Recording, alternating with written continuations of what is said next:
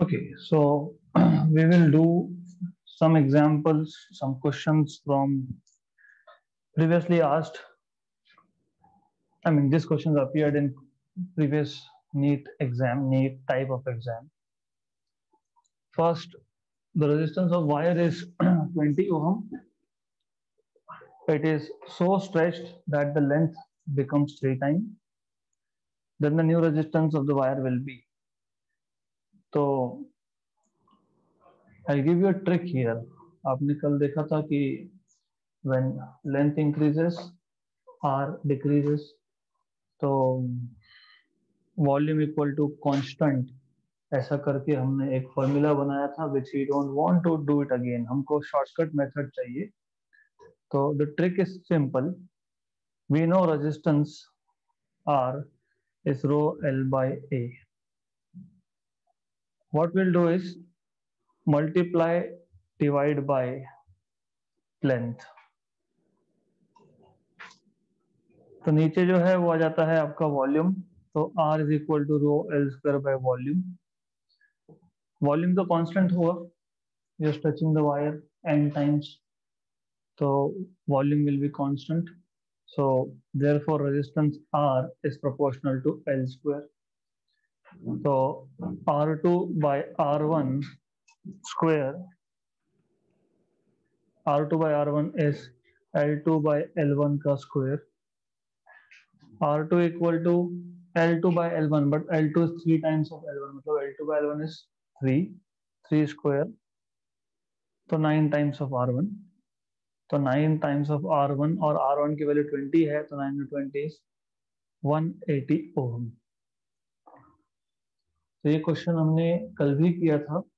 सिर्फ़ मैंने आज एक ट्रिक बताई है दैट जब लेंथ बढ़ रहा है तो एरिया डिक्रीज हो रहा है।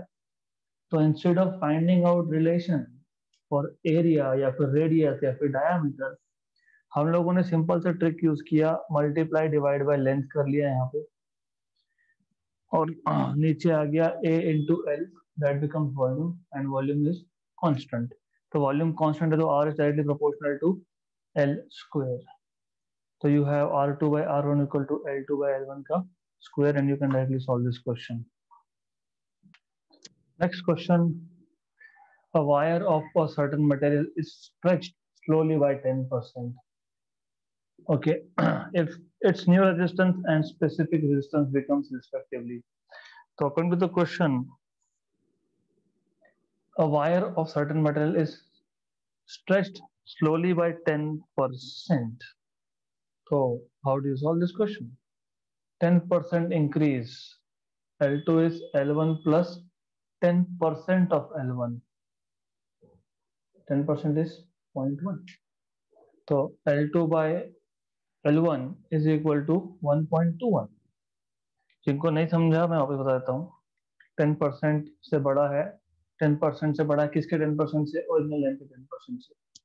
तो it is L one plus ten percent is zero point one L one मतलब L two is equal to one plus point one is one point one L one मतलब L two by L one is equal to one point one अभी हमने देखा था कि R two by R one is L two by L one का square तो R two is equal to one point one का square times of R1, 1.1 मतलब 11, 121 मतलब 1.21 times of R1. So resistance becomes 1.21 times. And resistivity, what happens to resistivity? Resistivity remains same because resistivity is a constant of proportionality which appears when you find out formula for R. So वो constant It doesn't change with change in length or change in radius. So this is how you can solve this question. Next question. The same type of question, this is oral he n square r होगा यहाँ पे wire of resistance r is elongated n fold मतलब n times है ना to make a new uniform wire the resistance of wire will be मतलब L2 is n times of L1 अभी हमने देखा R2 is equal to L2 by L1 square times of R one तो L two by L one तो N है n square times of R one तो R two is n square times of right good when a piece of aluminum wire of finite length is drawn through a series of dies to reduce its diameter to half of its original value, its resistance its resistance becomes. So you have to use this trick. जब आपको length में variation दिया होगा तो आपको are और L का relation देखना है, जैसे R is proportional to L square जैसे अगर आपको रेडियस या डायमीटर या एरिया में वेरिएशन दिया होगा तो आपको आर और एरिया का रिलेशन देखना है। तो R is rho L by A पहले हमने मल्टीप्लाई डिवाइड बाय एल किया था, अब हम मल्टीप्लाई डिवाइड बाय ए करने वाले हैं। तो नीचे आ जाएगा A square L into A ऊपर वॉल्यूम है। अगर आप लेंथ बढ़ाते हो तो वॉल्यूम कांस्टेंट रहता है। तो अगर डायमीटर हाफ़ किया तो भी वॉल्यूम कांस्टेंट ही रहने वाला है। राइट तो R is inversely proportional to one by A square it is not really important to understand actually उन्होंने क्या बोला है। When a piece of aluminium wire of finite length is drawn through a series of dies, it's not really important to understand. Important is कि half हो रहा है diameter, है ना? Its diameter is reduced to half. That is important thing.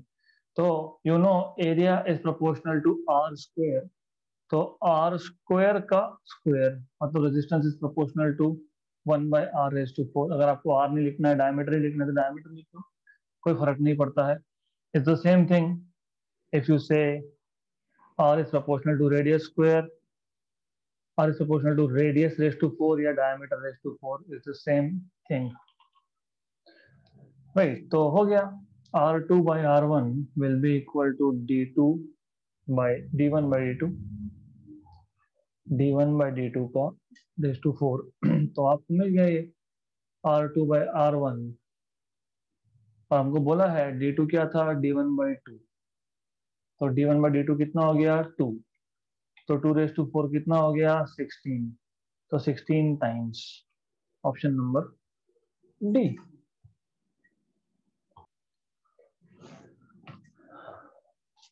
next question this is oral again if you remember the trick that I told you when a uniform when a wire of uniform cross section of length L sorry of cross section A length L and resistance R is bend into a complete circle resistance between any two diametrically opposite points will be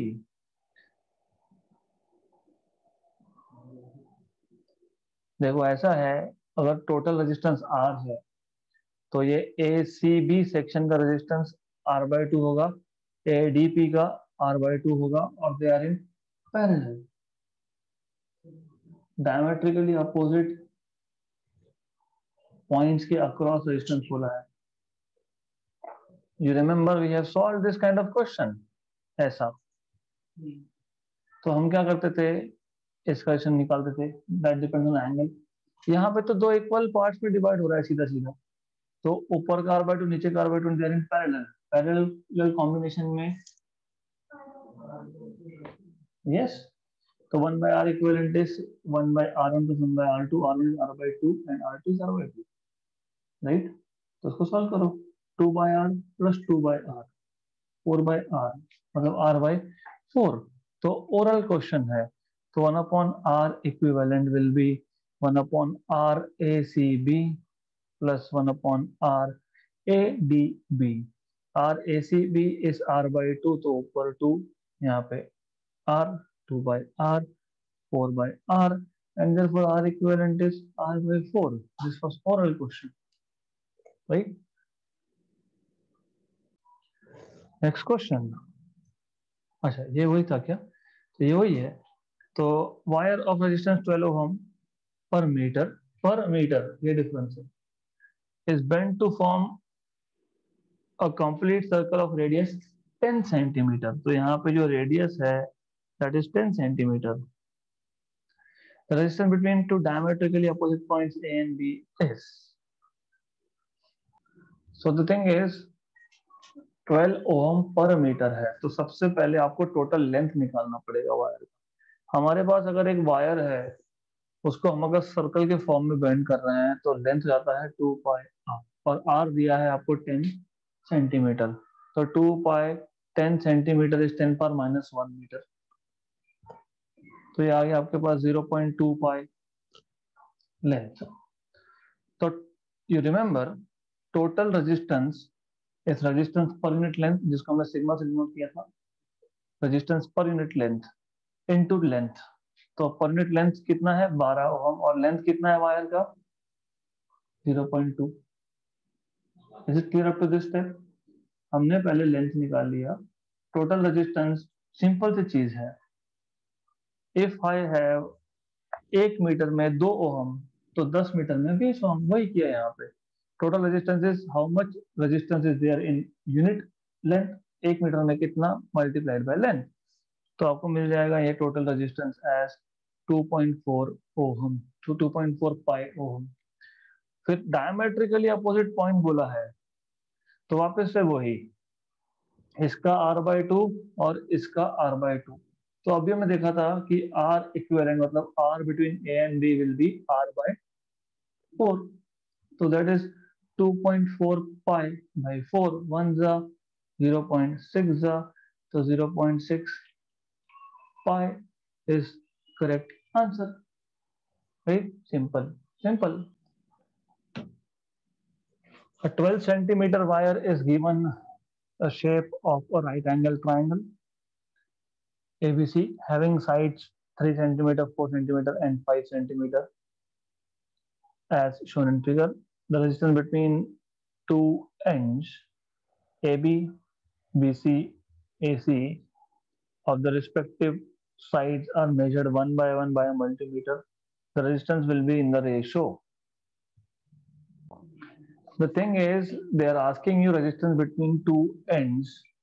है ना अगर मैं मान लो if I want to measure across A B मतलब resistance of these two sides series में है।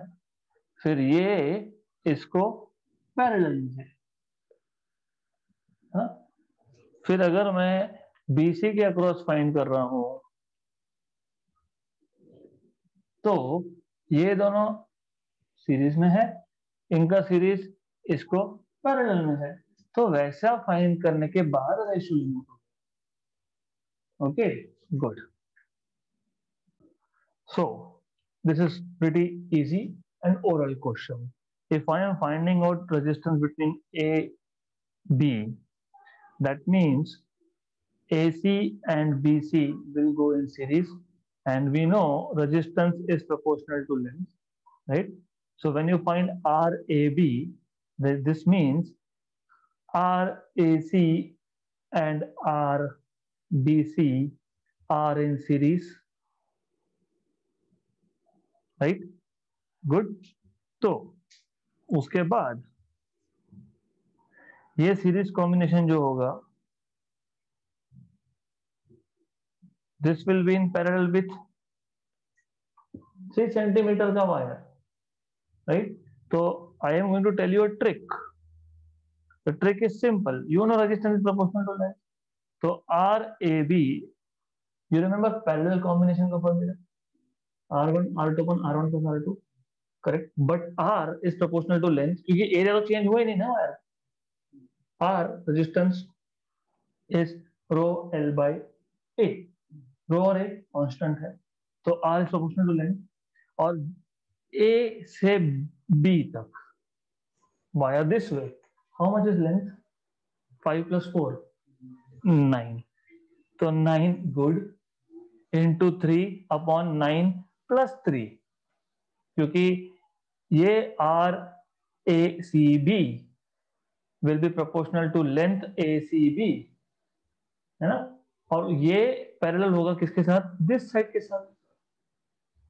Getting me good तो ये आ जाएगा आपका 12 by sorry 27 by 12 similarly if I find what is R B C तो जब मैं आर बी सी फाइंड करूँगा in that case I am looking at what is resistance between B and C B and C तो इस case में आप लिखोगे ये length so 3 plus 5 eight into four क्योंकि अब ये सेक्शन और नीचे का सेक्शन पैरेलल में है। तो you will write this eight into four upon eight plus four that is thirty two by twelve Similarly, when you find RAC or CA, in that case, in that case, 3 plus 4, 7, 7 will go parallel with 5. So in this case, AC के case में 7 फिर गो parallel with five तो ये आप लिखोगे seven into five upon seven plus five तो ये आएगा थर्टी फाइव बाई ट्वेल्व तो when you take ratio R A B is to R B C is to R A C या C A जो भी है you will have twenty seven is to twelve upon twelve is to thirty two upon 12 is to 35 upon 12 which is 27 is to 32 is to 35 option number B. Next question. Two rods are joined end to end as shown. Both have cross-sectional area same 0.01 centimeter square. Each is 1 meter long. One rod is of copper with resistivity 1.7 to 10 power minus 6 ohm centimeter. Ohm centimeter है metre में नहीं है वो the other is iron with resistivity of 10 power minus 5 ohm centimetre how much voltage is required to produce a current of 1 ampere in the rods तो the thing is these two copper and iron rods cross sectional area same है length same है they are in series. तो ये suppose to find out what is R equivalent because आपको अगर voltage पूछा है तो V equal to I R use करोगे। तो आर इक्विवेलेंट पता होना चाहिए that is R one plus R two because they are in series R मतलब कॉपर एंड आर टू मतलब आयन तो कॉपर एंड आयन और आपको पता है this is rho L by A मैं L by A L by same लिख रहा हूँ obviously for the reason that they are same हाँ रो आएगा, ठीक है। But length and area I am writing same because they are same तो you will get R C U plus sorry rho C U plus rho F E into L by A rho C U, copper का जो rho है वो आपको दिया है 1.7 point seven into ten पर minus six ohm centimetre, उसको metre में कन्वर्ट कर लेना, प्लस टेन पार माइनस फाइव, इसको कन्वर्ट करोगे तो ten par minus seven, L is one, and नीचे है zero point zero one centimetre square मतलब टेन पर माइनस टू सेंटीमीटर स्क्वायर, और सेंटीमीटर स्क्वायर होता है टेन पर minus four metre square ten पर माइनस टू एंड टेन पर minus four is minus six metre square. Very good इसमें क्या है कि ये टेन पर माइनस एट है। इसको अगर टेन पर माइनस सेवन लिखो या तो इसको टेन पर माइनस एट करो, दोनों में से एक चीज़ होगी। राइट. तो you can write down ten power minus eight को माइनस सेवन करना होगा तो ज़ीरो पॉइंट वन सेवन हो जाएगा। मतलब मैं ये हटाऊँगा। यहाँ पे पॉइंट वन सेवन लिख दूँगा। और यहाँ पे टेन पावर माइनस सेवन कर दूँगा। Point one seven plus one is one point one seven one point one seven into ten power minus seven और टेन पावर माइनस सिक्स नीचे से आ गया। ऊपर प्लस सिक्स हो जाएगा। तो ये आपके पास बचेगा। Ultimately you will get only minus one here 10 power minus 1 so 1.17 one is zero point one one seven ये आपको मिल गया ओहम में, क्योंकि हमने सारा का सारा ऐसा यूनिट्स में कन्वर्ट कर लिया था। आपको चाहिए V right V equal to I R equivalent okay तो हो गया सॉल्व आई की वैल्यू वन है R equivalent zero point one one seven है। तो zero point one one seven volt is the right answer next question in the circuit shown if a conducting wire is connected between points A and B, the current will be, first of all, this is R1, this is R2, this is R3, this is R4. So R1 by R2 is 1 ohm, R3 by R4 is 1 by 3. Not ohm basically, of course. R1 by R2 will be dimensionless. R1 by R2 is 1, R3 by R4 is 1 by 3. Balance नहीं है। Balance नहीं है मतलब current flow होगा है ना? तो current flow होगा। तो करंट कहाँ से कहाँ फ्लो होगा यही पूछा है आपको। तो what you are supposed to find is which of these two is at higher potential ये देखना पड़ेगा राइट और ओरली भी हो सकता है क्वेश्चन कैसे? यहाँ पे आठ ओहम है यहाँ पे चार ओहम है। अगर करंट आई एंटर कर रहा है तो in the upper branch the current is facing double resistance half of what if this is I one this is I two तो I one is half of I two this is what you should know once you know this and obviously i1 plus i2 is i तो i2 is I minus I one है ना? I two तो ठीक है I am just giving you hints अब एक बार आपको ये समझ में आ गया। Then if I call this C point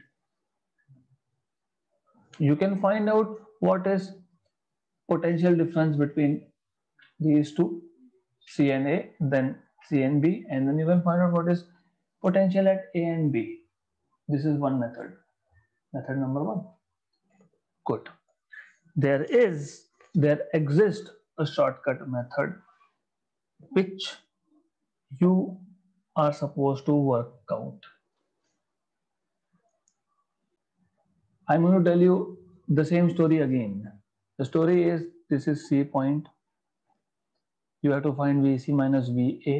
मैंने अभी भी बताया कैसे करोगे आई टोल्ड यू कि यहाँ पे जो भी करंट जा रहा है यहाँ जो करंट जा रहा है I two you know what is relation between I one and I two I one is half of I two क्योंकि resistance I one double face कर रहा है राइट सिमिलरली आप वी सी माइनस वी भी निकालोगे and then you can find out where is the potential more and where is the potential less. By the way, just to tell you, simple stuff, simple simple stuff.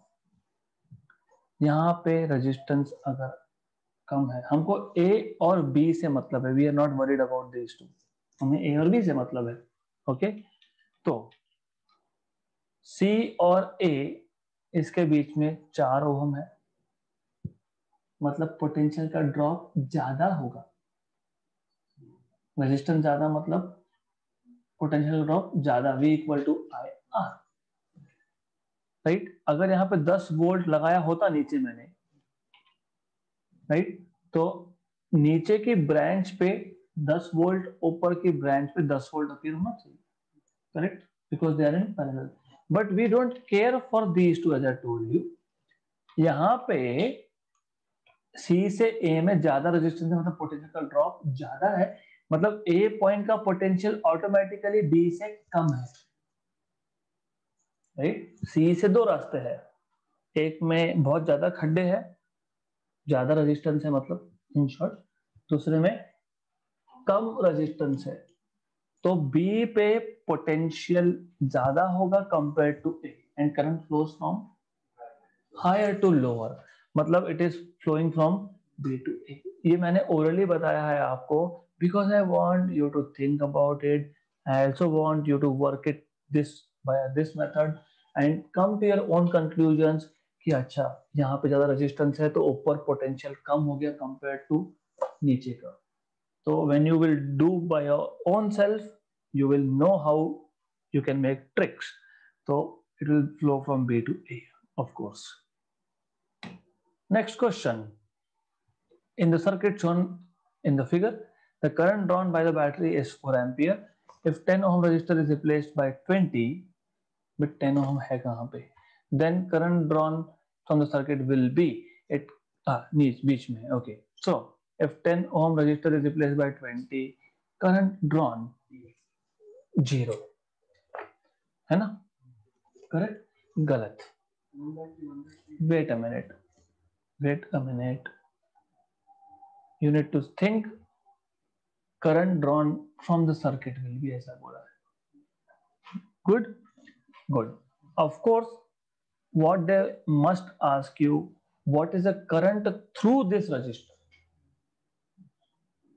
है ना? Zero क्यों zero क्योंकि ऊपर one और three R one R two R three R four R one by R two is one by three and R three by R four is one by three so network is balanced तो बीच में आप दस लगाओ, बीस लगाओ, one thousand ओम लगाओ, ten thousand ओम लगाओ, मत लगाओ। Matter right so current through this resistor will be zero okay but the current drawn from the battery will remain same मतलब फोर एम्पियर रहेगा। तो ये क्वेश्चन रॉन्गली फ्रेम्ड है। Okay good question is wrongly frame so don't worry about this okay तो you should say then current current through current through 20 ohm ऐसा बोलो या तो फिर आप बोलो करंट ड्रॉन सर्किट इसमें से एक कोई भी ऑप्शन हटा के उसको फोर कर दो then it is correct okay good five equal resistances each of resistance r are connected as shown in figure a battery of v volts is connected between a and b the current flowing in a a a a f c e b will be मतलब ये जो यहाँ का आपके पास this one from a f what is the current flowing through this ऐसा पूछा है okay this is Wheatstone network how come ये जो ये जो ए लाइन है ए पॉइंट है इसको मैं यहाँ ड्रॉ कर देता हूँ पॉइंट ए ए से एफ़ मतलब यहाँ आ गया एफ़ एफ़ से सी में एक रेजिस्टेंस ये आ गया सी है ना ये आ गया आर सी से ई e में एक रेजिस्टेंस सी से ई e में एक रेजिस्टेंस तो I put one resistance over here E E से डी में एक रेजिस्टेंस डी पॉइंट कहाँ पे मैं लेता हूँ यहाँ पे। तो आप देखोगे कि एफ़ से डी में एक रेजिस्टेंस है एफ़ से डी में एक रेजिस्टेंस है डी से डी से e में एक रेजिस्टेंस है look at this diagram D two is one resistance C से डी भी एक रेजिस्टेंस है. सी से डी भी एक रेजिस्टेंस है. तो ये ऐसा है, यहाँ पे है बी पॉइंट ए और बी के बीच में हमने वी वोल्ट का बैटरी लगाया है. वो, ये तो विटस्टन्स नेटवर्क दिया है इन्होंने. राइट और क्योंकि ये बैलेंस नेटवर्क है मतलब बीच का सी से डी हो नहीं हो डजेंट मैटर इसका मतलब ए पॉइंट यहाँ पे एक resistance R plus R two R नीचे एक resistance R plus R two R का, और ये आ गया बी हमको बोला है current in A current through A F F से सी सी से ई e, ई e से बी ऊपर की बेंच में कितना करंट तो हम पहले क्या करेंगे? हम टोटल करंट निकाल लेंगे। वैसे ज़रूरत नहीं है लेकिन मैं बता देता हूँ because it is option number C how come I tell you option number C कैसे? तो सबसे पहले आपको पता होना चाहिए ये मतलब ऊपर के ब्रांच ए ये एफ़ ये सी फिर ये e, फिर ये बी है ना? Only this you know already that V is equal to I R. Right तो I is V by R. लेकिन आर कौन सा? R from A F C E B कितना आर है उधर? Two R right this is one method अगर आपको ये हेवी लग रहा है तो सिंपल मेथड ये है। मतलब बाकी सब तो चीज़ें सेम ही है। Everything else is same apart from what you can do otherwise is अब हमको पता ही है ना कि ये वेटस्टोन नेटवर्क बैलेंस नेटवर्क है, पता ही है हमको। हम फिर बोल सकते हैं कि चलो टोटल करंट निकाल लेते हैं। ये two R two R parallel में मतलब आर फिर आप बोलोगे ए से बी में तो डेफिनेटली बी बाय आर इसका हाफ़ ही होगा ना, क्योंकि रजिस्टर तो ऊपर की ब्रांच और नीचे की ब्रांच में सेम है। हाँ तो वी बाय आर का हाफ़ ही होगा वी बाय टू आर होगा। या वैसा करो, या सिर्फ़ ऊपर के ऊपर से पोटेंशियल डिफरेंस अप्लाई करके देख लो, v बाय टू आर क्योंकि ऊपर की ब्रांच में रेजिस्टेंस था टू आर करेक्ट क्लियर होगा ना फ्लो ये यहाँ पे क्यों नहीं होगा? बैलेंस नेटवर्क है ना वेटस्टोन्स हाँ तो वो ये R1 है, ये R2 है, ये R3 है, ये R4 है। R1 upon R2 1 R3 by R4 ratio भी 1 R1 by R2 equal to R3 by R4 मतलब बैलेंस्ड वेटस्टोन नेटवर्क जब बैलेंस होता है वेटस्टोन नेटवर्क तो C और D सेम पोटेंशियल पे होते हैं। तो C और D सेम पोटेंशियल पे होने की वजह से करंट फ्लो नहीं होगा। इसलिए मतलब it is as good as की रेजिस्टेंस यहाँ पे है ही नहीं। फ़र्क नहीं पड़ता। है नहीं, है current matter really right? Clear? Is it clear? Clear clear. So this type of questions you should be able to solve by yourself. Right? Okay so we will stop here for today.